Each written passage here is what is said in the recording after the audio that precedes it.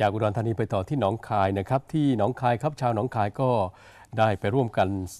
สมัครจิตอาสากันหนึ่งแน่นเลยทีเดียวนะครับล้วนต้องการทำความดีถวายในหลวงรัชกาลที่ 9 ครับ บรรยากาศที่ที่ว่าการอำเภอเมืองหนองคายนะคะมีประชาชนชาวจังหวัดหนองคาย และกำลังเจ้าหน้าที่ทหารมาสมัครจิตอาสาเฉพาะกิจ ในงานพระราชพิธีถวายพระเพลิงพระบรมศพรัชกาลที่ 9 เป็นจำนวนมากค่ะ โดยยื่นบัตรประจำตัวประชาชนเป็นหลักฐานในการลงสมัคร เป็นจิตอาสาเฉพาะกิจ ซึ่งทางอำเภอเมืองหนองคายได้จัดเจ้าหน้าที่คอยอำนวยความสะดวก ให้กับประชาชน เฉพาะในพื้นที่อำเภอเมืองหนองคาย มีผู้มาสมัครจิตอาสาเฉพาะกิจแล้วประมาณ 2,000 คนค่ะ ซึ่งทุกคนที่มาสมัครก็ล้วนสำนึกในพระมหากรุณาธิคุณของพระบาทสมเด็จพระปรมินทรมหาภูมิพล อดุลยเดชนะครับ ต้องการทำความดีถวายในหลวงรัชกาลที่ 9 โดยจะรับสมัครไปจนถึงวันที่ 30 กันยายน 2560 ตั้งแต่เวลา8นาฬิกาถึง 16นาฬิกา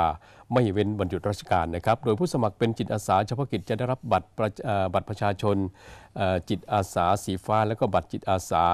งานพระราชพิธีถวายพระเพลิง พระบรมศพนะครับ ซึ่งก็แบ่งเอ่อแบ่งสีตามประเภทของงานนะครับ และจะได้รับพระราชทานหมวกแก๊ปผ้าพันคอ เสื้อโปโลสีดำและปลอกแขนอีกด้วยครับ